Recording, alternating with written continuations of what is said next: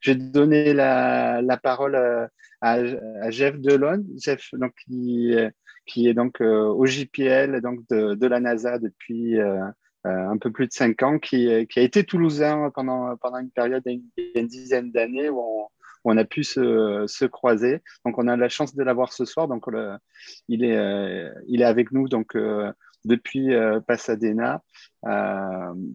Donc, il va nous présenter donc, le, ce, ce, projet magnifique qui est, qui Ingenuity. Et Jeff, je te donne, je te donne la parole. Et donc, il va vous présenter le projet en lui-même. Bah, tout d'abord, merci, merci beaucoup de m'avoir. content de revenir virtuellement, virtuellement à Toulouse. J'y étais en, en 2010 à l'Onera Eliseo dans le, dans le cadre de mes études.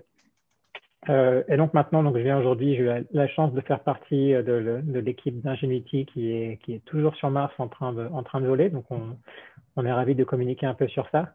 Alors, je m'excuse d'avance, c'est une présentation en, français, mais j'ai dû aussi en faire quelques-unes euh, en, anglais. Du coup, j'ai pour l'instant qu'un seul euh, jeu de slide qui est en anglais, mais j'essaierai de, j'essaierai de traduire du mieux que, du mieux que je peux. Euh, donc d'abord, je commencer par dire que L'hélicoptère Ingenuity, avant, d'être un engin, c'est d'abord une équipe. Euh, c'est une équipe euh, d'hommes et de femmes qui l'ont conçu. Euh, pas mal d'ingénieurs, mais pas que. Alors je dis pas mal d'ingénieurs parce que c'était une mission de démonstration technologique quand ça a commencé. Donc on essayait d'abord de, comprendre comment est-ce qu'un hélicoptère peut voler sur Mars.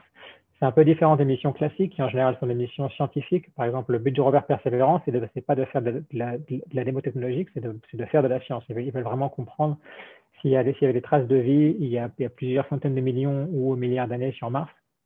Donc là, non, pour, pour Unity, ce n'était pas le cas. Donc c'est une équipe beaucoup d'ingénieurs, quelques scientifiques quand même, et puis des gens qui aident aussi à faire le lien, à, que l'équipe tienne ensemble.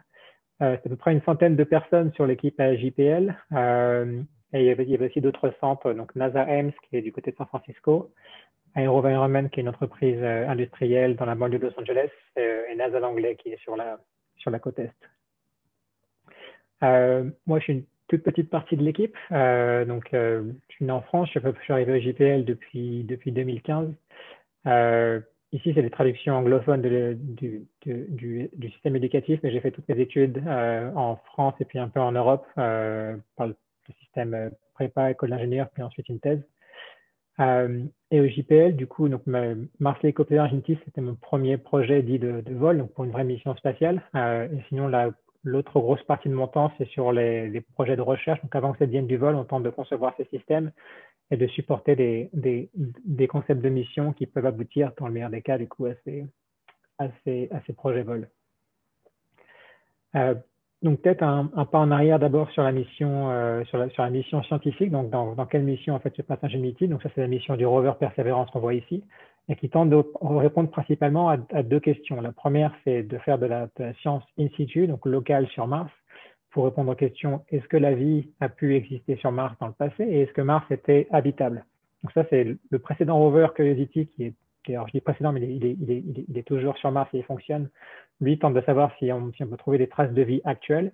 Ça n'a pas été le cas pour l'instant. Donc maintenant, on, regarde sur les traces de vie passées et essayer de comprendre comment est-ce que Mars a pu passer d'un monde habitable et qui a priori avait beaucoup de points communs à la Terre au désert euh, qu'il euh, est aujourd'hui.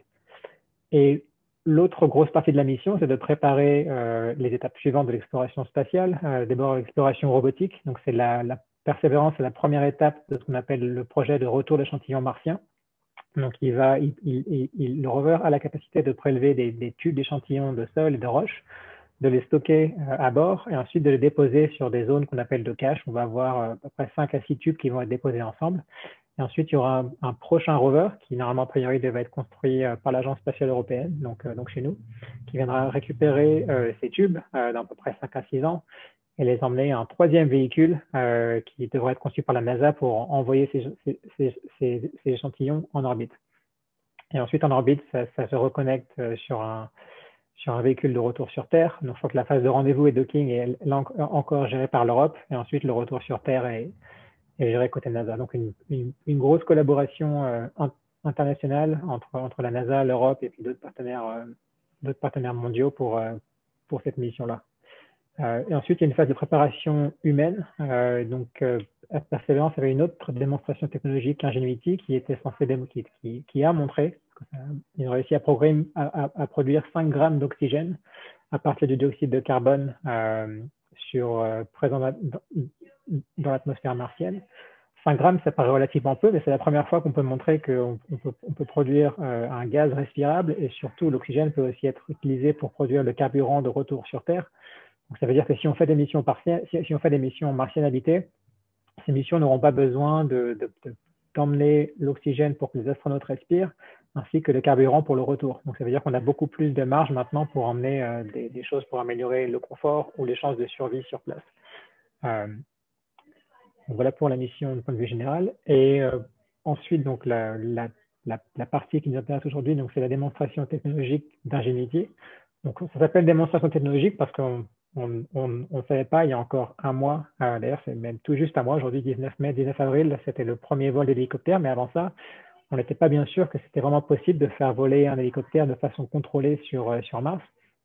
Donc c'était le, premier but de cette, cette euh, mission de démonstration était de, prouver que c'était un possible, et ensuite deux, euh, si c'est possible, d'essayer de collecter le plus de données d'ingénierie possible pour apprendre à, construire des modèles et apprendre comment, comment se comporte l'atmosphère de Mars, comment est-ce qu'elle interagit avec un véhicule de type hélicoptère pour qu'on puisse améliorer les futurs véhicules. Celui-là, Ingenuity, c'est le premier, il est relativement petit, euh, il est conçu avec plein de marges pour, pour, pour pouvoir prendre en compte toutes ces choses qu'on ne sait pas encore sur l'atmosphère sur, de Mars, euh, mais, mais, les prochains, on l'espère, pourront être beaucoup plus performants. Donc la mission de départ, c'était une mission de 30 jours euh, qui du coup se terminait, je crois, hier ou avant-hier. Euh, on va voir du coup, donc ça continue. Alors, le cratère G0, c'est là où on a atterri le 18 février. donc, on a atterri avec le rover Perseverance sur une zone qui a été ensuite appelée Octavia Butler, qui était une romancière de science-fiction américaine. Donc, on atterrit juste sous la flèche jaune ici. Donc, vous voyez, par rapport à ce que je disais tout à l'heure, donc on se trouve euh, juste en dessous d'un endroit qui correspond à un ancien lit de rivière. Donc, on voit le lit de la rivière ici euh, et la zone du delta euh, où la rivière venait déposer ses, sédiments, on pense. Et donc, le, le, rover va essayer de remonter en fait toute la zone-là. Alors, soit par le côté là, soit par, soit par le côté nord ici et essayer de remonter ce lit de rivière où on pense que c'est des conditions idéales de vie hein, pour, euh, on pense qu'il y, y, a plusieurs milliards d'années. Ah, donc ça c'est pour la mission du rover. Ingenuity était du coup accroché lui sous le, sous le rover pour l'atterrissage et euh, la première phase qu'on a atterri, c'était de déterminer dans quelle zone est-ce qu'on pouvait faire voler l'hélicoptère. On n'était on pas forcément conçu pour voler n'importe où. Euh, notamment, il faut qu'il soit un terrain relativement plat. Le but, c'est pas de démontrer qu'on a, un hélicoptère qui peut voler dans des conditions difficiles pour l'instant. C'est juste de démontrer que atterrissage, vol stable et, et, et atterrissage sont possibles. Euh, et je trouve qu'on a été relativement chanceux parce que on, a, établi une zone de 100 mètres euh, directement près du point où on avait atterri qui, qui remplissait toutes les conditions requises en termes d'être relativement plate, sans obstacle, pour pouvoir faire tenter les premiers vols. c'est ce qu'ils ont appelé la, zone euh, d'essai des frères euh, Wright, qui étaient du coup les, premiers pilotes euh, d'avions motorisés sur Terre en 1903, si je ne me trompe pas. donc juste à côté. Donc, quel est le, quels sont les, challenges associés à faire décoller un, un, un, hélicoptère sur Mars? C'est peut-être pas forcément évident pour tout le monde. le, le, premier challenge, c'est que l'atmosphère de Mars ne correspond qu'à 1% de la densité de l'atmosphère terrestre. Pourquoi c'est un problème? C'est parce que la, force dite de portance qu'on utilise pour faire euh, décoller l'hélicoptère, donc cette force verticale vers le haut, euh, elle est proportionnelle à la, densité de l'atmosphère. Donc, quand on dit que l'atmosphère martienne correspond à 1% de celle de Mars, ça veut dire que la force qu'on peut générer avec un hélicoptère équivalent va aussi correspondre à 1% de la force là. Alors, ça ne serait pas un problème sur, euh, sur d'autres mondes où la gravité pourrait être, aussi être, réduite. Par exemple, sur un, sur un astéroïde, il y a une gravité qui correspond elle aussi à moins d'un pour cent de la gravité terrestre, voire même encore beaucoup moins ça. Mais sur Mars, la gravité reste quand même malgré tout relativement importante. C'est un tiers de la gravité terrestre. Ça veut dire que la force qui nous tire vers le bas, même si elle est un peu réduite par rapport à la Terre, elle est, toujours relativement importante, alors que la force qui nous sert à nous propulser vers le haut pour l'hélicoptère, elle est réduite de façon drastique. Donc ça, c'est le challenge pur du côté de l'hélicoptère sur l'aspect aérodynamique. Ensuite, il y a des aspects associés au fait que ce n'est pas une mission qui se passe juste dans, une chambre à vide ici sur Terre, comme on, a pu faire pendant le test. Il faut que ça se passe sur Mars. donc en ce moment, c'est des chiffres qui datent d'il y a un mois. C'était à 180 millions de kilomètres de miles de la Terre, donc 250 millions de kilomètres. ça correspond à 15 minutes de communication dans un sens, donc ça veut dire 30 minutes aller-retour. donc tout doit se passer de façon autonome un véhicule qui doit survivre dans les conditions ambiantes de Mars où la température euh, descend à moins 90 degrés dans les conditions actuelles. Et ensuite, si ce n'était pas assez, il faut aussi qu'on le mette euh, dans une fusée, que ça, résiste à, l'environnement vibratoire, aux accélérations euh, dans la fusée. Dans l'espace, l'électronique ne va pas être protégée par la magnétosphère et l'atmosphère terrestre, donc il faut qu'on soit sûr qu'on n'ait pas des, des, radiations qui viennent changer le, le software qui est inscrit sur les disques. Et ensuite, la phase de rentrée de l'atmosphère martienne qu'on appelle EDL pour entrée, descente et landing, atterrissage du coup en anglais. Euh, donc, on a, on a, pas mal de challenges avant, avant même que l'hélicoptère puisse, euh, puisse arriver sur Mars. Donc, le véhicule du euh, d'Ingenuity qui a été conçu pour, pour répondre à ça, donc c'est ce que vous voyez ici. Donc, c'est un véhicule de 1 kg euh, la direction, la, la, longueur des pales, c'est à peu près 1 mètre, 1 mètre 20, c'est 1 mètre 21, je crois, de bord à bord. Il a été conçu, alors les les spécifications initiales, c'était pour 5 mètres, des vols à 5 mètres de hauteur jusqu'à 300 mètres et d'une durée de 90 secondes maximum, donc 1 minute 30. Euh, on voit que maintenant, si vous avez suivi un peu les, les 5 vols qui ont eu lieu, on, a, déjà réussi à, dépasser ces spécifications initiales. Euh, il y en a un vol qui a fait 1 minute 57 euh, et on se rapproche des 300 mètres. On est, on est monté à 266 mètres, je crois. donc on, on tente de, de, pousser un peu maintenant dans la direction là, maintenant qu'on a quelques vols sous la, la ceinture et, qu'on commence à comprendre comment un véhicule se comporte. Euh, c'est un véhicule qui est entièrement autonome, euh, qui se recharge de coup à l'aide d'un panneau solaire qui se trouve ici en haut et qui recharge des éléments de batterie qui sont en fait dans, le fuselage. Donc ça, c'est une vue éclatée de, ce qui se passe sous la couche de millard que vous avez ici. Donc on voit des batteries à lithium polymère comme ce que vous avez dans vos, dans téléphones portables. Euh, il, y a, six batteries ici qui sont les, les, les éléments cylindriques orange que vous voyez sous les cartes d'avionique. Les cartes d'avionique, c'est le terme technique pour dire en gros ordinateur de bord. Euh, la même chose, euh, l'ordinateur, on va dire, haut niveau, euh, c'est une carte, c'est une carte qui correspond à ce que vous aviez dans les, téléphones il y a à peu près 3-4 ans. Donc, c'est à peu près du niveau d'un Galaxy S, S5 pour donner une comparaison. mais tout, ça pour dire que l'électronique que vous avez sur Ingenuity, c'est, enfin, vous avez quelque chose de meilleur maintenant dans votre téléphone portable, donc dans votre poche. il n'y a rien vraiment d'extraordinaire à ce qu'ils veulent là-dedans. C'est extraordinaire par contre par rapport euh, aux autres vols spatiaux, euh, comme on le disait tout à l'heure avec, euh, Stéphane, je crois dans, le rover, l'ordinateur qui, qui est à bord du rover, lui c'est un PowerPC qui date de 98. Pourquoi est-ce qu'il est aussi vieux? C'est pas parce qu'on ne cherche pas à se mettre des bâtons dans les roues, c'est parce que le, rover a une, mission scientifique beaucoup plus importante. Donc la, tolérance qu'on s'est mise sur les probabilités d'échec ou de bug de, l'ordinateur est beaucoup plus restreinte sur le rover que l'hélicoptère. Et donc, il faut voler avec, il faut avoir sur le rover des ordinateurs qui sont qualifiés pour être résistants aux radiations. Et euh, tout ce processus de, qualification prend du temps. Euh, ça n'a pas, été le cas sur Ingenuity. On, a, accepté de prendre plus de risques parce que c'était une mission de démonstration, donc quelque chose d'un peu moins critique. mais du coup, ça a aussi permis d'avoir des ordinateurs plus récents et plus performants. Maintenant, je peux montrer les étapes sur euh, comment est-ce qu'on est arrivé à ce véhicule. Euh, donc ça, c'est une vidéo prise dans la chambre à vide du JPL. Euh, donc c'est une chambre de 8 mètres de diamètre. On peut descendre la, pression et la, densité de l'air à peu près donc, pour, recréer les conditions du vide spatial. Donc c'est là qu'ont été testées toutes, les, missions qui vont dans le, dans le système solaire. Galileo, Cassini, tous les rovers sont passés par là. Au final, pour cette chambre-là, le devoir simuler les conditions martiennes, c'est presque trop facile parce qu'il faut, il faut laisser quand même 1% d'air. Donc, euh, ils, ils, sont très loin des conditions de, de vide que, que, qu'ont pu avoir besoin les autres missions. Et ce qu'on voit ici, c'est que dans les. Donc, ça, c'était en 2014. Euh, en 2014, on a, on, a, on, a, on a pu montrer qu'il était bien possible de générer cette force verticale vers le haut pour décoller, euh, même, même sur Terre où la gravité est trois fois plus forte que sur Mars. C'était bien possible. Par contre, euh, ce qu'on s'est aussi rendu compte, comme vous voyez, c'est que la, personne qui, tente de piloter ce drone euh, a beaucoup de mal. Euh, il, reste en vol que quelques secondes et puis à la fin, il finit par se cracher. Pourquoi? Parce que la dynamique des pales est totalement différente. A les, les pales ont, des modes de vibration sur elles-mêmes qui, donc ces vibrations sont naturellement amorties par l'air sur Terre, parce qu'on on a chance d'avoir beaucoup d'air. Mais, mais, mais, ces phénomènes d'amortissement sur, sur Mars se produisent de façon beaucoup plus ténue. Et donc, ça veut dire qu'il y a en fait des, des modes de vibration qui changent complètement la façon dont les pales se comportent en fait, il faut, quasiment imaginer que essayer de piloter l'hélicoptère euh, sur Mars, ça correspond, enfin, il faut décaler toutes les commandes de 90 degrés. Donc, par exemple, si vous voulez aller tout droit, ben, en fait, il faut tourner à gauche. Si vous voulez aller à gauche, il faut, faut, faut, partir en arrière. Il y a un phénomène de, délai qui se passe sur le rotor euh, qui, est, difficile à prédire et à contrôler. Donc, ça, maintenant, si je repasse, si j'avance de deux ans, euh, donc ça, c'est un vol euh, mi-mai 2016.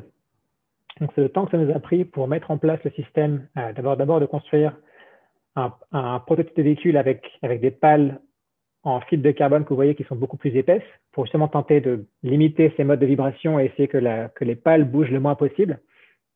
Euh, et aussi, maintenant, c'est un vol qui, se passe de façon autonome. Donc, on a un système de contrôle qui, euh, connaît la dynamique pales et qui tente du coup de, prendre en compte le fait que quand on veut, tourner à gauche, il faut, en fait, il faut en fait envoyer une commande pour aller en arrière. Et donc des choses qui seraient très difficiles à faire pour un, pilote humain peuvent être modélisées pour un, pilote euh, logiciel.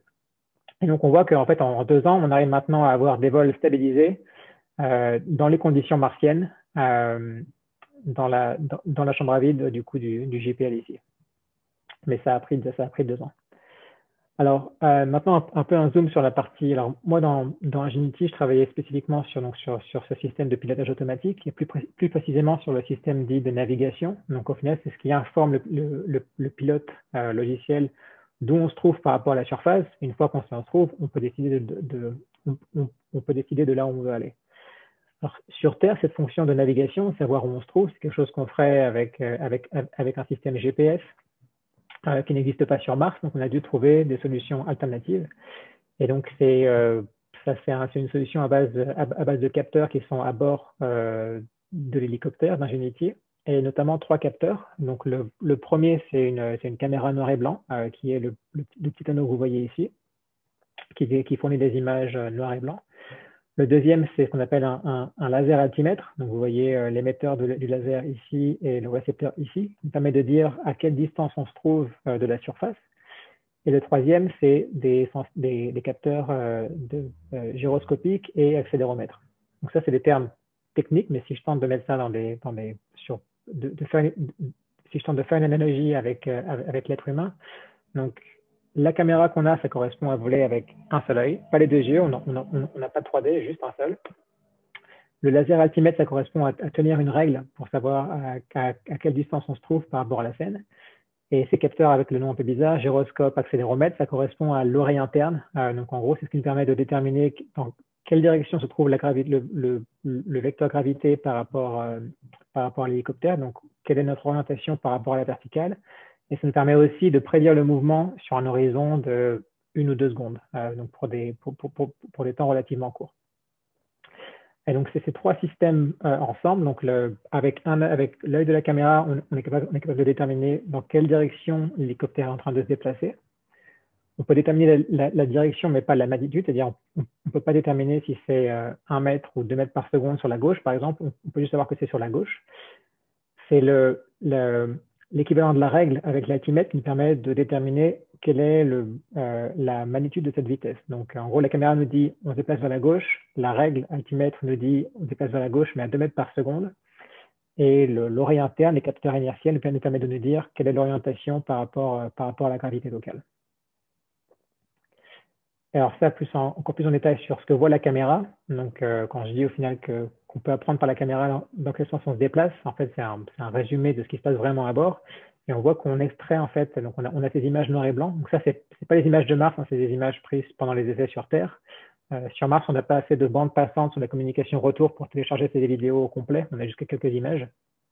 Et on voit qu'en fait, on traque ce qu'on appelle des points d'intérêt dans l'image, qui correspondent à des points de, de fort contraste, euh, qui, on sait, sont statiques par rapport au terrain. Euh, et en fait, pouvoir traquer le mouvement de ces points dans l'image nous permet de comprendre le mouvement d'Ingenuity euh, en l'air par rapport au terrain. Par exemple, ici, on voit que sur une trajectoire relativement horizontale, tous les, points semblent se, déplacer, se, déplacer, dans le même sens. Donc, on peut utiliser ça dans l'algorithme d'estimation pour, euh, pour estimer la direction du vecteur vitesse afin de contrôler l'hélicoptère.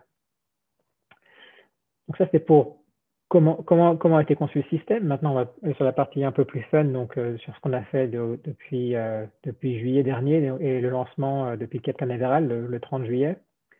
donc, il y a eu une phase, d'abord décollage et puis ensuite neuf mois de voyage interplanétaire avant d'arriver sur la phase d'atterrissage, du coup, le 18, février dernier. Alors, la phase d'atterrissage, c'est une manœuvre qui dure à peu près 7 euh, minutes depuis le premier contact avec l'atmosphère jusqu'à l'arrivée euh, en, surface. Ici, je montre juste la toute dernière phase avec, euh, avec du coup l'arrivée l'arrivée au sol. Ce que je veux montrer, c'est les conditions de poussière qui existent quand l'hélicoptère se fait déposer. Il faut, bien comprendre que l'hélicoptère se trouve sous le panneau inférieur du rover. C'est-à-dire que là, en fait, l'hélicoptère est dans un, nuage de poussière euh, absolument énorme, où on ne voit plus rien.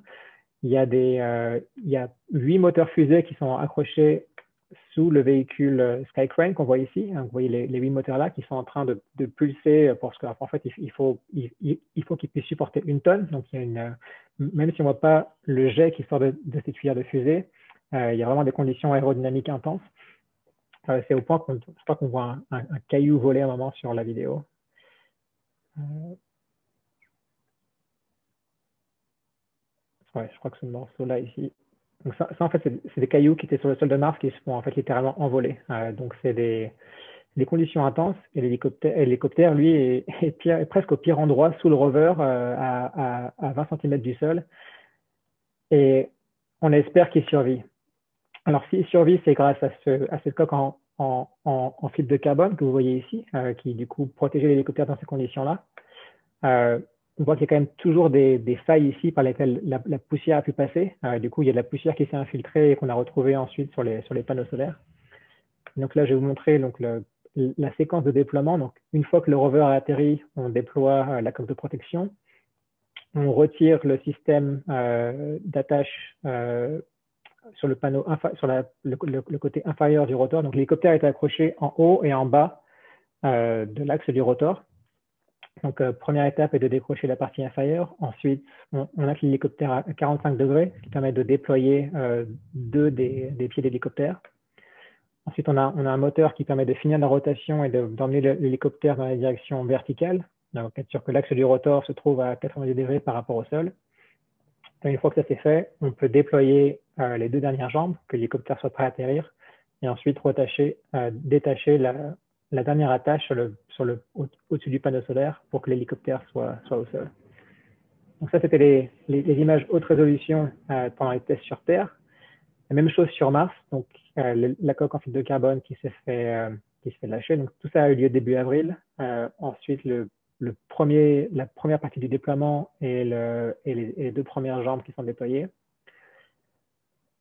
L'établissement, la, la, mise à la verticale, déploiement des deuxièmes jambes. Et ensuite, donc tout, ça début avril, euh, la première photo de l'hélicoptère, du coup, une fois que le rover s'est rétracté. Vous voyez les, traces de roue du rover ici. Euh, donc cette photo, elle, paraît toute bénigne, mais le moment où elle, a, été prise, c'était le premier moment, le premier moment critique pour Ingenuity. C'était la première fois que l'hélicoptère dépendait seulement de lui-même pour euh, obtenir son énergie et pour pouvoir recharger les batteries. Euh, donc c'était, euh, s'il n'avait pas été capable de faire ça, comme on discutait tout à l'heure, euh, il aurait, on aurait probablement été mort en 24 ou 25 heures parce que la plupart de l'énergie qui est stockée dans les batteries n'est pas, est pas dédiée pour le vol lui-même, mais elle est dédiée pour survivre les conditions de température à la surface. Savoir qu'on est donc à, à, moins 90, alors jusqu'à moins 90, on a, on a mesuré moins 83 Celsius pour l'instant. L'électronique euh, elle, est, seulement conçue pour être près des conditions euh, terrestres. Donc, en gros, on, cherche à être vers moins 10, moins 15 degrés. Quoi. Donc, il faut qu'on maintienne l'intérieur du fuselage à une température décente pour pouvoir fonctionner. Euh, donc, ces photos, malgré tout, il, y avait, pas mal d'analyses qui, ont été faites derrière pour pouvoir vérifier que, l'hélicoptère pouvait survivre à la surface avant même de pouvoir essayer de décoller. Donc, ça, c'est d'autres photos à la surface. Euh, une fois qu'on a été euh, confiant que du coup que, les véhicules pouvaient survivre sur la surface de Mars. C'est là qu'on a commencé à, se préparer pour la phase de vol. Euh, donc la première étape, c'était de, débloquer euh, les pales qui étaient du coup qui avaient un, frein qui était mis en place pour, pour empêcher que les pales bougent pendant pendant toute la phase de voyage de la Terre à Mars. donc ça c'est une vidéo des premières rotations pour vérifier que le mécanisme a bien survécu au transport. Il y a eu des phases ensuite plus d'accélération des rotors à plus haute vitesse alors, on, accélérait les rotors, mais sans les incliner. Ça veut dire qu'on n'avait pas de force de portance qui était générée. On voulait juste vérifier que le système fonctionnait. Et c'est pendant la phase-là qu'on a détecté une, anomalie, ou quelquefois, quand le, quand, le, quand le logiciel de bord veut transitionner de la phase pré-vol à la phase vol, euh, il y a un des, un, des compteurs qui est sur un des, un des logiciels euh, qui ne renvoie pas le bon nombre de, euh, qui, ne renvoie pas le bon compte. Euh, et, on s'est rendu compte que ça, pouvait euh, bloquer le passage en mode vol. C'est purement un bug, il n'y a pas de, souci avec, l'électronique de bord. c'est quelque, chose qu'on n'avait pas détecté sur Terre. c'est probablement un, léger paramètre qui a changé sur Mars qui, implique ça. Et donc maintenant, on a, toujours un risque qui est à peu près dans 20% des cas que cette transition en mode vol ne se fasse pas. on a un, un fixe logiciel qui a été fait. Euh, qu'on peut, qui est envoyé sur Mars sur le rover. On l'a pas encore poussé sur l'hélicoptère parce que à, ce point, à, ce moment précis, euh, le, le, logiciel de bord n'a pas changé depuis deux ans, depuis les derniers tests sur Terre. Donc, tenter d'envoyer une, une, mise à jour pour résoudre un problème qui au final n'est pas critique, c'est aussi prendre le risque qu'on introduise d'autres erreurs sur deux parties du système qui pour l'instant fonctionnent bien donc, une fois qu'on a, résolu, du coup ce problème, on était, on paré pour les premiers vols. Euh, donc ça, c'est le vol qui a eu lieu donc, il y a un mois exactement, le 19 avril. Euh, c'était, je crois, vers milieu de journée en, France. C'était le matin ici euh, en Californie. Et donc un, un, premier vol, au final, très simple. Hein. c'était c'est uniquement décollage à 3 mètres de haut. Ensuite, on reste à la même position. On fait une rotation de 90 degrés dans un sens qu'on voit ici, et ensuite atterrissage. Alors, ça paraît très simple, et la, raison pour laquelle on s'est réduit à ça, c'est parce que euh, quand, on a, fait des essais dans la chambre à vide du JPL, donc les, seules conditions qu'on a pu tester sur Mars, cette chambre à vide ne fait que 8 mètres de large, et avec le problème de recirculation de l'air qui est entraîné par les pales, en fait, on, peut seulement avoir des conditions réalistiques d'à peu près 1 mètre, 1 mètre 50 au centre de la chambre à vide. Si on avait cherché à se déplacer latéralement, on aurait mis l'hélicoptère dans des conditions de recirculation de flot qui n'auraient pas été réalistiques et, potentiellement dangereuses. tout ça pour dire qu'en fait, sur Terre, on avait seulement testé en fait des, des, trajectoires verticales. Donc c'est en fait extrêmement logique que les premiers vols qu'on est censé faire, qu'on a essayé de faire sur Mars, étaient en fait dans les conditions qu'on avait, qu'on avait, qu'on avait pu expérimenter sur Terre, juste pour vérifier que tous les, tous les modèles se comportaient de façon prévue et qu'on n'était pas en train de tomber sur les, sur les, sur les incertitudes liées au fait qu'on n'avait jamais testé en fait des, des modes de trajectoire horizontaux. Donc, une autre photo de l'hélicoptère euh, à bord. Euh, ça, c'est une photo prise par la caméra de navigation, une des premières qui a été, euh, qui a été renvoyée avec une, une ombre, je trouve, qui est assez esthétique. Cette image, elle, est assez jolie, je trouve. une note, peut-être vite fait, c'est que les, les, pales tournent à 40, 40 rotations par seconde, donc c'est extrêmement rapide.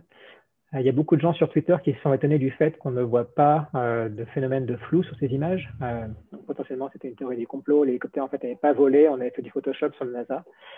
bon, malheureusement, pas vrai. il se trouve que la caméra de navigation a un temps d'exposition de, 100 microsecondes sur cette photo. Donc, on a fait le calcul. 100 microsecondes avec, avec la rotation des pales à, 40 degrés par seconde, ça veut dire que le, le bord des pales devrait bouger d'à peu près 2 cm. En fait, on voit que sur une, sur une qui fait 60 cm ici, plus on s'éloigne du, centre des pales, euh, plus il y a un phénomène de flou qui apparaît là. Et en fait, on voit que le, si, on, dimensionne ce flou ici, ça correspond à peu près à, 2 cm. Euh, donc en fait, il n'y a rien d'anormal sur la photo, c'est juste une photo prise sur une autre planète dans des conditions un, peu différentes. Euh, il faut un peu du coup des fois chercher à, expliquer plus en détail. et sur l'image de l'autre caméra, donc prise avec la caméra couleur, qui elle avec un un temps d'exposition plus long. On voit que sur cette image-là, on, a, bien du coup les pales qui sont floutées, comme attendu et, comme on voit en général sur, euh, sur Terre. Je sais pas, donc ça c'était une image, une vidéo du troisième vol où on a commencé à faire des, translations horizontales. Euh, donc là, ces vols paraissent toujours simples, mais euh, on n'avait jamais, avant ce vol-là, tenté de faire des vols horizontaux avec Ingenuity. Donc là, on, était purement en train d'apprendre. Euh, on avait juste le modèle théorique et, nos simulations, mais on n'avait jamais pu les valider dans, les conditions martiennes. Euh, et donc ça, c'est vraiment la phase là où on est en train de... Toutes les données qu'on collecte pendant ces vols vont nous être utiles pour pouvoir maintenant raffiner ces modèles de calcul avec des conditions bah, du, coup, martiennes et du coup euh, avoir, avoir des meilleures performances pour les prochains hélicoptères. Je crois qu'on va revenir dans sous peu, il freine et il descend. Ensuite, j'ai passé un peu plus vite, parce que je vous laisse un peu de temps pour les, pour les questions. Euh, j'en profite, excuse-moi Jeff, pour en poser une là qui est, qui est posée, parce que ça, ça, ça, peut donner du sens, on pas tout ça. Y a-t-il du vent sur Mars Pour bien comprendre euh, comment ça se passe? il y a du il y a du vent. Euh, donc euh, sur G0, les conditions. Donc, en fait, il faut distinguer le vent moyen des rafales. Euh, donc le vent moyen, c'est à peu près c'est du vent qu'on va estimer être constant pendant la durée du vol. Et cette, composante-là, ça peut monter jusqu'à 9 mètres par seconde. donc je crois que ça correspond à 30 à l'heure à peu près, 30 km à l'heure. Et les rafales, donc la, partie dynamique qui peut changer pendant le vol, c'est 3,5 mètres par seconde, donc à peu près 10 km heure qui, peut varier pendant le vol. Après, il, faut bien mesurer que le, puisque la densité de Mars est extrêmement faible, l'effet de ces rafales est aussi extrêmement négligeable. Par exemple, si, les, quand, les, quand, les, pales ne tournent pas, l'accélération liée à ce vent relatif, ça correspond à peu près à l'effet du poids d'une plume sur le fuselage, quoi, parce que l'atmosphère est si, est si peu dense. Je sais pas si ça répond à la question du coup. Merci, je, pense. Grateful pourra nous dire si ça répond à, sa question. Et euh, du coup, juste pour finir avant les questions, juste montrer du coup ce qu'on a fait donc, sur le, dernier vol, le vol numéro 5. Euh, au lieu de retourner euh, au, point de décollage qu'on a fait sur tous les autres, on a du coup on a fait un saut de puce. Donc on, a en fait inauguré un, nouveau site d'atterrissage qui avait été reconnu avant on a, pris des images pendant le vol numéro 4 pour pouvoir repérer un peu le terrain, faire des modèles en 3D et puis voir quel point, quel point du terrain était, était sûr pour atterrir. Et, on, s'est du coup déplacé d'une centaine de mètres euh, sur la surface de Mars. Donc c'est le, deuxième site d'atterrissage de l'hélicoptère. Ce qui montrait qu'on qu'on n'est pas condamné de rester au même point de décollage et d'atterrissage euh, pour l'hélicoptère. Voilà, et ensuite j'ai passé ça, c'était des, slides sur les projets de recherche à suivre pour les, prochains. Euh, mais sinon, je pense que c'est plus intéressant de laisser du, temps pour les questions.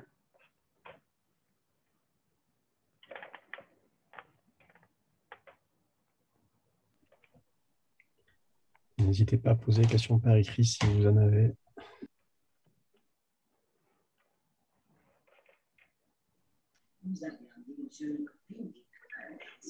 Peut-être une question, c'est Stéphane, sur, euh, tu disais, Jeff, que tu espérais euh, tenir un mois, ou la première mission était d'un mois par rapport à la NASA, et, maintenant, c'est quoi l'espérance? Pendant combien de temps vous pensez pouvoir travailler euh, Si la mission elle était reprolongée d'un mois, c'est ça? Et, comment ça fonctionne justement ces validations-là?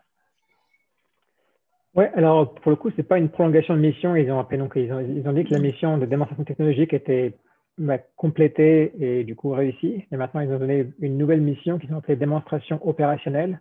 Donc, ça veut dire que maintenant, la NASA considère que le véhicule fonctionne, qu'on peut faire voler des, hélicoptères sur Mars. Maintenant, ils, veulent comprendre comment est-ce que ça peut opérer en parallèle d'un rover. Est-ce que les deux peuvent collaborer et du coup améliorer le retour mutuel euh, des deux véhicules? Euh, donc, la façon dont, euh, dont, ça s'est fait, c'est qu'on a, du coup 30 jours de plus au moins, peut-être peut-être plus que ça après. Euh, où on va du coup essayer d'aller repérer en amont euh, les endroits où le, rover pourrait se déplacer. Du coup, fournir des cartes pour que le rover puisse, se déplacer plus vite et, éviter des zones qui pourraient être potentiellement dangereuses euh, avec des risques d'ensablement ou des obstacles. Ensuite, aller repérer des zones qui pourraient aussi être potentiellement intéressantes comme objectif scientifique.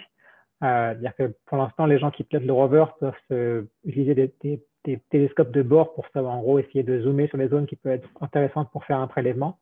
L'hélicoptère pourrait permettre d'avoir des images haute résolution, 30 fois plus résolues que, ce qu'on peut avoir par rapport aux images en orbite, avant de passer plusieurs jours euh, à, déplacer le rover pour arriver sur la zone.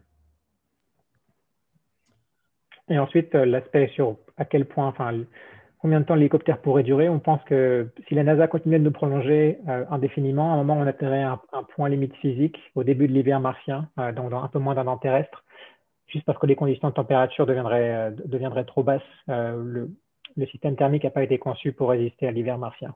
Ça serait possible sur les prochains hélicos, mais pas, pas pour celui-là. Pardon, j'enchaîne sur la question suivante. Pensez-vous réitérer une mission avec un hélicoptère peut-être plus performant? demande PM. Oui, complètement. Euh, alors, on, est, on tente, le JPL est vraiment dans l'optique d'essayer de potentiellement répéter ce qui s'est passé avec les rovers, où en 96, il y avait le robot Sojourner qui faisait euh, jusqu'à quelques kilos qui avait, été déposé par la mission Pathfinder, qui avait une durée de vie de 90 jours. Et puis ensuite, bah, du coup, ça a bien marché. Huit ans plus tard, il y a eu les rovers Spirit et Opportunity qui, eux, faisaient plusieurs centaines de kilos, qui ont été envoyés, qui ont vécu jusqu'à 14 ans à la surface de Mars. Et puis encore euh, euh, huit ans plus tard, les rovers Curiosity et maintenant Perseverance, qui, eux, font la taille d'une voiture. Euh, donc, on, est un peu sur la, même, sur, même, trajectoire, on l'espère, pour les hélicoptères, où on a un, véhicule Ingenuity qui faisait 1m20 de large. Et là, un véhicule qu'on appelle pour l'instant le Martian hélicoptère, c'est à l'échelle. Hein. donc, il faut savoir que le, la taille, dans, la, la taille d'un rotor sur ce véhicule qui en a, qui en a 6 est la, la taille que le rotor là. Donc c'est un véhicule qui fait 3,60 m de large, donc qui est pour le coup presque plus, enfin, aussi, long qu'une voiture, euh, qui reste toujours très léger, il fait 30 kg, 30 kg, donc c'est toujours 15 fois plus qu'un Genity, mais ça reste relativement léger pour quelque chose qui fait 30 mètres de large, euh, pardon, 3, 3 mètres 60 de large. Et il peut, porter jusqu'à 5 kg d'instruments. Alors, c'est beaucoup moins que, les rovers, mais par contre, c'est des, instruments qu'on peut porter sur des distances beaucoup plus grandes. Euh, ce véhicule peut parcourir jusqu'à 10 km par jour. Euh, donc, 10 km, ça a pris deux ans pour que, pour que Curiosity fasse ça. Euh, là, ça nous prend deux jours. Et surtout, on peut les emmener aussi sur des zones qui étaient inaccessibles avant. on, parle, peut parler du sommet des rochers, d'aller sur les, sur les pentes des cratères, les, sur les faces de falaise. Tous ces endroits où on a vu des choses intéressantes depuis l'orbite, mais on peut pour l'instant pas prendre de mesures locales avec, avec les rovers. Merci de ta réponse. Euh, deux questions que je, vais, que je vais rassembler qui touchent un petit peu à l'énergie. Alors, ce ne sont pas les mêmes, mais tu, me diras comment tu peux répondre à ça. Les, les accus sont-ils, alors pardon, je ne suis pas expert, des LiPo ou des Li-on Ça, c'est la première question. La deuxième, c'est est-ce que des engins à voilure fixe sont à l'étude dans les prochaines missions sur Mars? Pour la première question, c'est des LiPo, c'est des batteries lithium polymères qui sont à bord. Euh, et la deuxième question, oui, il y a des engins à voilure fixe qui sont étudiés. Euh, ça a même été les premiers concepts de véhicules aériens martiens étaient pour des, pour des avions. Euh, et notamment le véhicule, un projet Ares qui était, a été poussé par un des centres de la NASA et qui a quasiment été sélectionné pour une mission Discovery en 2004. au final, on pense que ça n'a pas été sélectionné parce que le problème des avions, c'est qu'il faut en fait il faut avoir une piste d'atterrissage et, de décollage relativement longue. en fait, il faut que les véhicules accélèrent pour générer de la portance. Donc, ça veut dire que il faudrait en fait qu'à chaque fois que, l'avion atterrisse, qu'on puisse garantir que le véhicule ne va pas, va pas s'ensabler sur la, longueur de la piste d'atterrissage. Donc, c'est quand même beaucoup plus compliqué qu'un hélicoptère où on, sait que si on a une, zone qui est juste aussi large que la, taille des rotors et euh, que si, si, les pieds ne, ne, tombe pas sur des cailloux, ce qu'on peut identifier en vol, a priori, l'atterrissage et le décollage peuvent se, faire de façon sûre. Euh, c'est plus compliqué pour un avion. Euh, les avions, cela dit, si on peut arriver à, résoudre ce problème de décollage et d'atterrissage sur des sites sûrs, permettrait d'être beaucoup plus efficace du point de vue énergétique parce que euh, on, utilise juste le vent relatif pour générer de la portance, pas besoin de faire tourner des pales à, une vitesse élevée pour, pour être porté vers le haut. Euh, j'ai là aussi deux autres questions que je vais, euh, que je vais regrouper. Euh, une sur le pilotage, ça, paraît assez mystérieux. Comment ça se passe concrètement? Et la deuxième question, pardon, c'est comment Genuity contrôle mécaniquement son altitude? Pas collectif ou autre, comment, comment ça se passe? Alors je, vais commencer par la deuxième. Alors sur ce que j'ai une illustration ici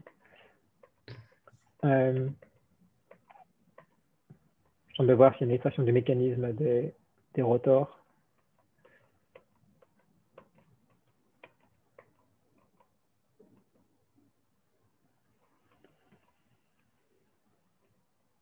peut-être un peu ici. Donc, euh, alors, les drones sur Terre, euh, ils contrôlent donc leur attitude en faisant varier donc la, force de portance euh, qui, qui, combat la gravité.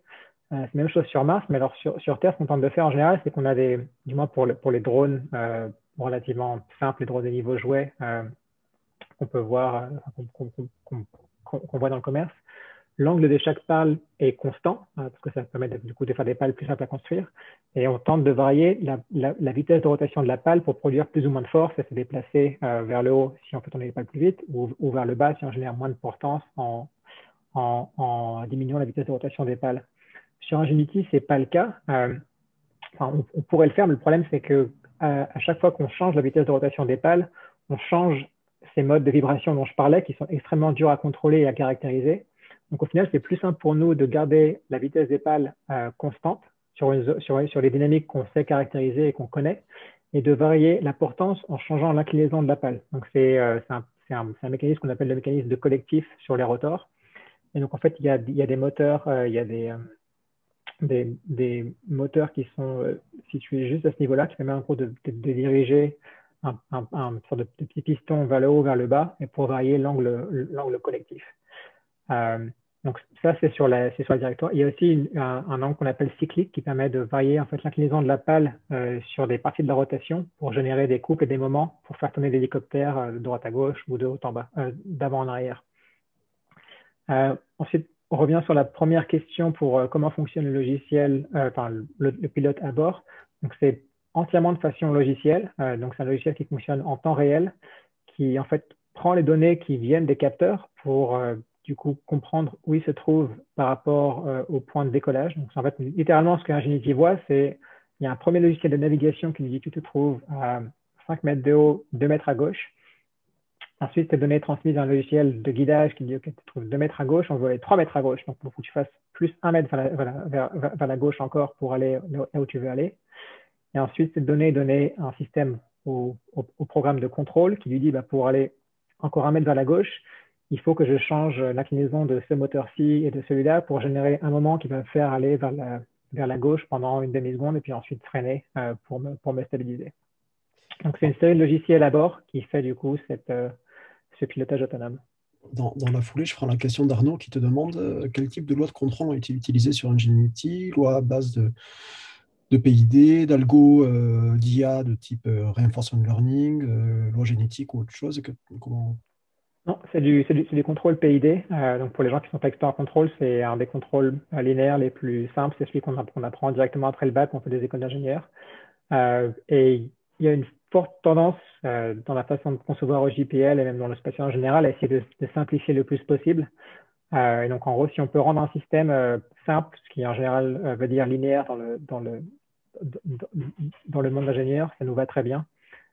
Et là, c'est exactement ce qu'on a réussi à faire avec Ingenuity. On, on, on, on, a pu revenir sur des lois simples et linéaires pour, pour faire le contrôle. Une question sur le système électronique à la température. quelle est le, la proportion de la puissance des batteries répartie entre le vol et le chauffage? C'est-à-dire, en fait, au final, tu dépenses combien d'énergie pour, pour chauffer le, le, le matériel? À peu près 70% euh, pour l'énergie, 10% pour le vol, euh, et puis 20% de marge. Ensuite. Ok.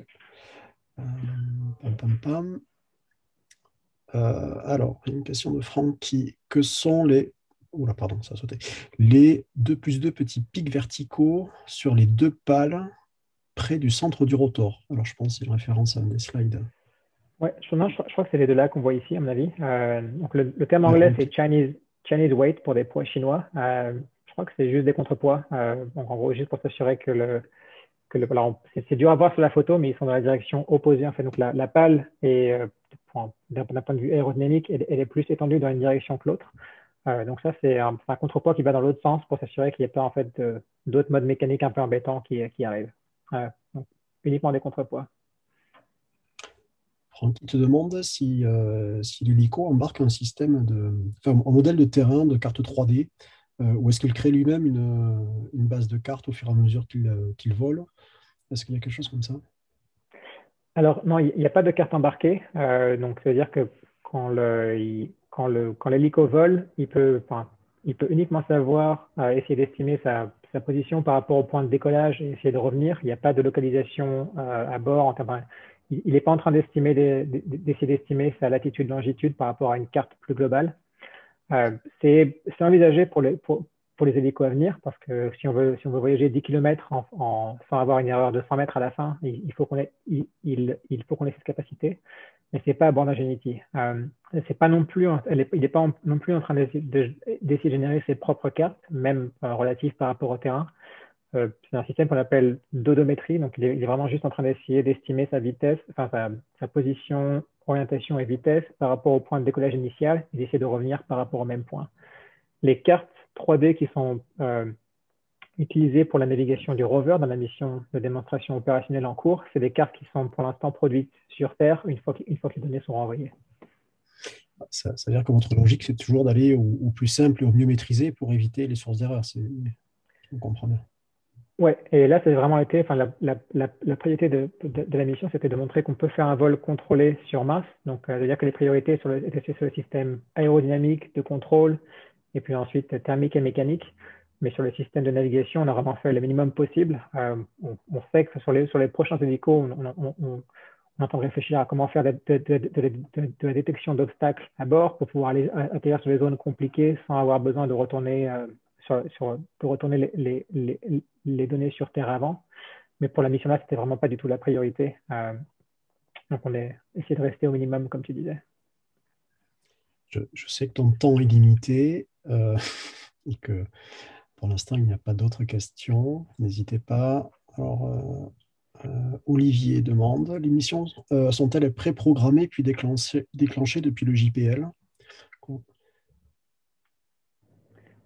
Oui, c'est ça. Donc, donc il y a une salle de contrôle au JPL. Euh, c'est juste euh, plusieurs gens qui mettent dans la même pièce avec, des ordinateurs et qui, du coup, écrivent, la série de commandes. Euh, et pour ce cas-là, ça correspond juste à dire à quelle heure est-ce qu'on veut voler euh, et quelle trajectoire on veut suivre et quelles données on veut, récupérer depuis l'hélicoptère.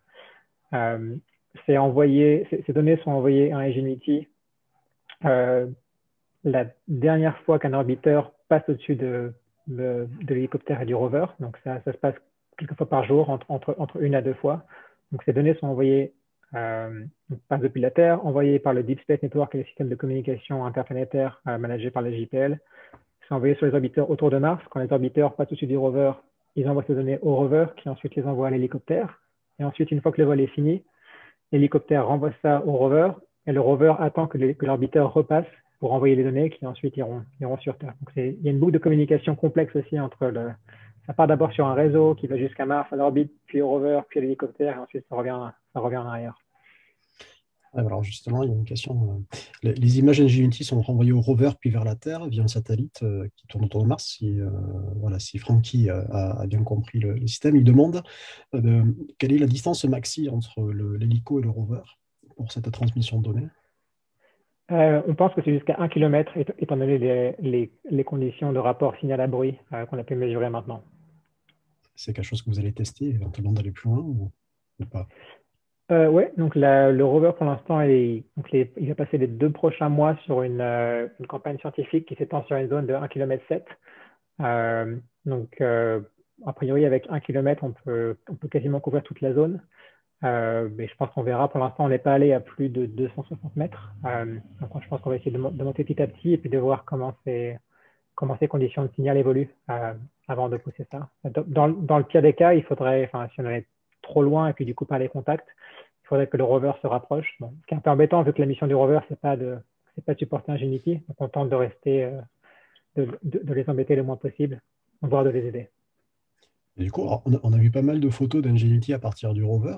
Euh, est-ce qu'il y a ou est-ce que vous allez faire des photos du rover à partir d'Ingenuity Oui, alors il y en a une qui a été prise. Euh, elles sont relativement compliquées à prendre. Donc si vous voyez sur l'image ici, euh, qui était prise par la caméra couleur à, bord, au coin en haut à gauche, on voit l'image du rover.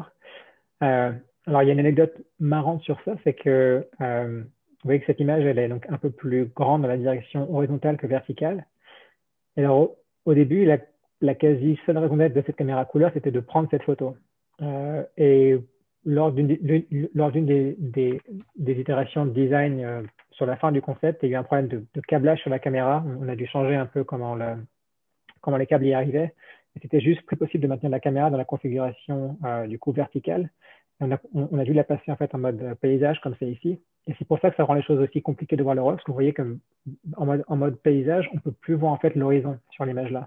Mm. C'était pas prévu d'être le cas au début, donc on, pensait que c'était beaucoup plus simple de prendre des images du rover. Il se trouve que c'est compliqué. Et sur cette image-là, elle a été possible parce que l'équipe, l'équipe en fait euh, a demandé de prendre la photo au moment où Ingenuity accélère sur le côté. Donc du coup, elle est, elle est naturellement inclinée pour aller sur le côté et il faut bien timer ces, conditions-là pour que le rover apparaisse dans le, champ de vue. Et encore, vous voyez que c'est juste dans le coin de l'image. Toujours un petit peu dans le même sens, euh, est-ce que, du coup Ingenuity suit le rover et est-ce que vous avez euh, est-ce que vous avez complètement ouvert le domaine de vol d'Ingenuity? Alors pour l'instant, on a l'avantage que le rover ne bouge pas trop. Euh, donc sur le premier mois, il, restait en fait, quand, quand, les missions commencent, ils sont en train de vérifier tous les systèmes. donc, ça passe beaucoup sur les phases statiques. donc c'était pas un souci. vous voyez sur l'image là, on peut voir les traces du rover. Donc on voit qu'il y, a beaucoup d'allers-retours. Euh, qui sont faits sur la première phase pour tester comment le véhicule se déplace, tester le système de bord. Euh, à l'avenir, donc le rover pourrait se déplacer jusqu'à 200 mètres par jour. Euh, donc, ça veut dire que c'est c'est pas impossible qu'on puisse le suivre, mais il faudrait que, en gros, étant donné qu'on a un kilomètre pour le signal, on pourrait laisser partir le rover pendant 5 jours si, si, si c'est 200 mètres et puis ensuite essayer de le rattraper il y a des moments en fait où il faut, il, faut pas que le rover soit trop loin pour, qu'on, pour que l'hélicoptère puisse toujours euh, recevoir et puis, et puis envoyer recevoir la commande et, et, euh, et, euh, et renvoyer les données. alors, pardon, il y a des questions un petit peu longues qui se sont posées. une question sur la, la, question des tests de, de l'aérodynamique, savoir un peu comment vous, vous, faites ça et puis quel est le, la part, euh, le rapport aux essais dans la chambre à vide pour le développement et l'évaluation de l'aérodynamique, euh, les phénomènes aérovibratoires, la chaîne de contrôle. ces, enjeux-là de l'aérodynamique, comment, comment est-ce que vous y prenez? La, Pardon, c'est la part des simulations hein, par rapport aux essais. Est-ce que vous simulez beaucoup Est-ce que vous essayez beaucoup? C'est beaucoup de simulations, euh, quasiment uniquement ça. il y a eu en tout, je crois, entre 4, 4 et 5 vol dans la, chambre à vide. Euh, donc, sur un projet qui dure 8 ans, c'est pas beaucoup euh, parce que bah, ça, coûte, ça cher de l'opérer, c'est aussi compliqué. Euh, donc, du coup, quand, on est prêt pour, tenter des conditions dans un vol, c'est en général qu'on l'a l'a répété des centaines de fois en simulation, tester, toutes les conditions. donc, oui, c'est beaucoup de simulations. L'autre problème de la chambre à vide, c'est que celle, qu'on a, auquel on avait accès au JPL était relativement limitée pour pouvoir tester les vols d'hélicoptères à l'avenir, il, est possible qu'on qu aille sur des chambres à vide plus grandes euh, qui sont disponibles dans d'autres centres de la NASA. Euh, le problème, c'est qu'il faut, il faut les chambres non seulement grandes, mais sur lesquelles on peut aussi réduire les, les, les, conditions de densité atmosphérique pour, pour, pour, ressembler à Mars. Toujours dans ce fil-là, euh, tu disais que vous n'avez pas pu faire de, de simulation de vol latéral dans les conditions, dans les conditions martiennes. Et du coup, est-ce que vous avez fait des tests en conditions terrestres, puis ensuite euh, voilà, transformer les paramètres de telle sorte que ça puisse être validé sur Mars alors sur l'aspect purement de contrôle euh, et, aérodynamique, euh, il n'y a, pas eu de test dans les conditions atmosphériques martiennes de plus de 30 cm. donc c'était vraiment, quand on parle de se déplacer plus de 300 mètres, on n'avait aucune idée de, quoi ça allait ressembler, au-delà du, du, modèle de base, mais qui n'a pas été validé. par contre, pour les systèmes, pour, les systèmes de navigation, du coup, euh, euh, envoyer tous les capteurs sur un hélicoptère, sur Terre, euh, sur différentes conditions de lumière, différentes conditions de terrain. ça, on avait un, un système, on avait fait à peu près 80 vols dans différentes conditions de désert sur Terre pour vérifier que quand on accroche, qu'on accroche tous les capteurs sur un hélicoptère qui peut voler sur Terre, qu'on est bien capable de, mesurer le mouvement, ce qui donne le retour, le feedback nécessaire pour le contrôle ensuite deux questions qui suivent qui sont très différentes, qui n'ont rien à voir l'une avec l'autre, mais je te livre quand même ensemble. Une première au, sujet de la taille des photographies, de la résolution, euh, taille en mégaoctets d'un fichier, euh, de ce qui est pris par, par Ingenuity. Euh, et, est-ce qu'il y a différents, formats, différentes tailles sur, par exemple, les photos de face? Il y a deux caméras. Donc, il y a la caméra couleur que vous avez ici. Là, on est un, sur un format HD. Donc c'est un format HD couleur. Euh, donc je crois que ça doit ça sûrement monter à, dans les 3, 3 mégaoctets, si je ne me trompe pas. Et ensuite, il y a la caméra noir et blanc qui est au format VGA, donc 640 par 480, c'est une résolution plus basse et c'est aussi un seul canal, canal, canal noir et blanc. donc, c'est plus facile pour la renvoyer. mais c'est malheureusement pas, pas, les plus belles images en général. pourquoi du coup ces deux formats? Alors, la, la, la, la caméra de navigation, c'est pour, c'est pour des motivations d'ingénierie pure. Euh, donc, c'est euh, en fait, il nous faut assez de résolution pour pouvoir pour, pour estimer la vitesse correctement, vu que c'est pour ça qu'on utilise la caméra. Et ensuite, pas trop de pas trop de pixels parce qu'en fait, plus on en a, plus ça plus ça coûte euh, du, du, temps de calcul au processeur pour pouvoir du coup donner sa réponse. Donc, c'est un juste équilibre. Et ensuite, la caméra couleur, euh, ça c'est purement pour euh, ben, le retour média et puis pour, pouvoir espérer ça de la science. Mais là, il n'y avait, vraiment pas de, but scientifique sur la mission, c'est que du bonus. Euh, donc la, caméra couleur, c'est quasiment pour le fun. Quoi. Et pour le coup, c'est les deux caméras qui étaient fournies avec la puce Qualcomm qui venait au départ. donc en fait, c'était une décision prise par l'entreprise Qualcomm, pas par le JPL directement. Euh, ben, du coup, les deux questions qui suivent, c'est le Serge et de Paul, peuvent euh, se recouper en partie. Euh, la première, c'est quel est le temps de charge complète de la batterie? La deuxième, quel est l'impact de la poussière soulevée lors des collages et amarissages sur le rendement du panneau solaire? Je crois savoir que ce n'est pas, pas sans lien tout ça. Oui, alors la première, c'est le temps de charge de la batterie, Combien de temps qu'on a besoin temps de charge complet pour, alors, le, euh, après un vol, euh, on, est, on, on, a besoin que d'une journée pour, pour revenir euh, aux, aux, conditions de charge complètes. Euh, en général, il nous faut plus de temps pour pouvoir euh, récupérer tout, toutes les données et puis du coup, enfin, prendre, les, prendre les décisions pour le vol suivant. Donc, c'est pas la batterie qui est en général limitante. Alors, ensuite, la, les, les, conditions de charge complète de 0 à 100%, euh, ça, j'ai pas le nombre exact. je ne saurais pas dire à partir du panneau solaire. Donc, je devrais revenir vers vous pour ça.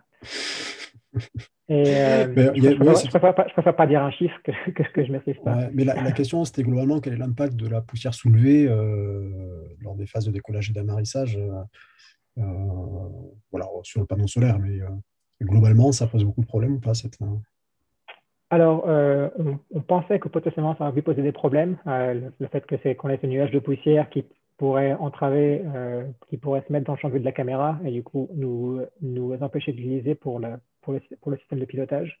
Au final, c'était beaucoup plus, euh, beaucoup plus simple qu'on l'espérait. Euh, il, semble que la caméra de navigation ne voit juste pas la poussière qui est, qui est, qui est, qui est, qui est euh, levée par les pales.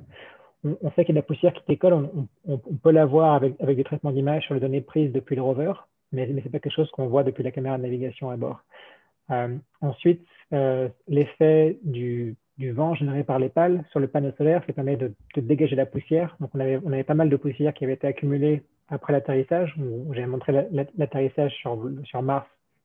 Du rover avait généré beaucoup de poussière à cause des moteurs fusées qui, créaient ce nuage.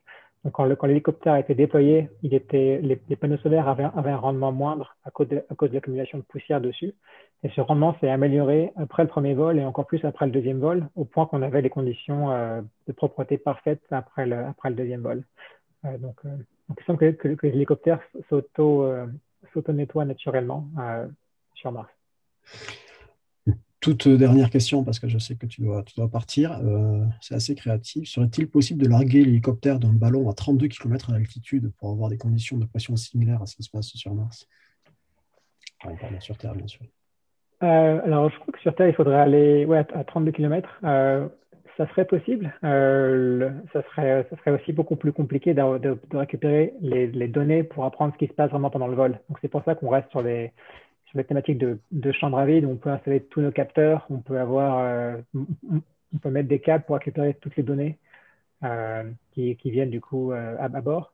mais à, ça, serait possible a priori. Enfin, l'hélicoptère peut voler, dans, ces conditions-là. Donc, on pourrait demander au CNES d'envoyer un de ces ballons avec, euh, avec un modèle d'Ingenuity et d'essayer de les faire décoller là-bas.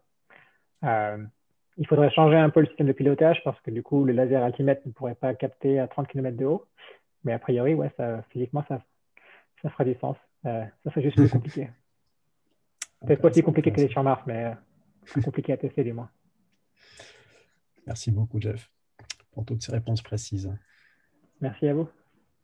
merci beaucoup, Jeff. je sais que ton temps est, précieux et tu as d'autres, d'autres réunions en cours. Merci d'avoir pris tout ce temps pour, pour, cette, pour ce premier Fab Live. C'était un plaisir de, de t'avoir parmi nous et, au plaisir peut-être de te voir à Toulouse quand tu reviens en France. Et, oui, merci à vous. Euh, l'espace. Impatient de rentrer. malheureusement, ouais, c'est la, c'est journée de travail ici. Il y a, il y a 9 heures d'écart, donc je dois continuer les réunions. Mais euh, bah, merci beaucoup de, votre invitation et puis ravi d'avoir pu échanger avec vous. Merci. Merci à toi encore une fois. C'est bien. Bonne soirée. Merci à tous. Bonne soirée. Au revoir. Au revoir tout le monde. Merci à tous. Donc, euh, merci beaucoup. On, on va replanifier un, prochain euh, Fab Live, euh, je pense, courant, euh, courant juin. Je pense qu'on va alterner des, des, des, Fab Live grand public, d'autres peut-être plus orientés vers des, choses plus, plus, plus techniques, même si ce soir ça a été très, très technique finalement. Euh, donc voilà, on vous remercie tous de votre présence. N'hésitez pas à vous inscrire pour ceux qui n'ont pas fait, comme ça, ça permet de, de, de, vous inviter sur, sur ces événements. Euh, si vous avez après des suggestions, des remarques, n'hésitez pas à nous les faire, euh, à nous les faire remonter. Merci à tous, merci euh, à Frédéric, merci Stéphane pour, pour, votre soutien et, donc on se revoit très bientôt. Merci Boris pour, la, prise des questions et à très vite. Merci bien. Passez une, merci beaucoup à vous et bravo pour cette belle soirée, belle réussite. Bravo, au revoir. Ciao tout le monde, au revoir.